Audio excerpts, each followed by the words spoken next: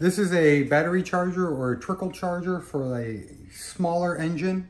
Um, today I'm going to be showing you it here on a four-wheeler here. We have the battery here.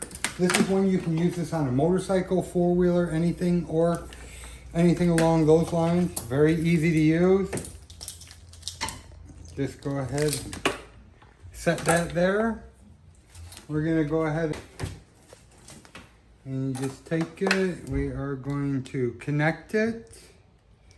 It also comes with one that you can screw directly into the battery, but simple to use.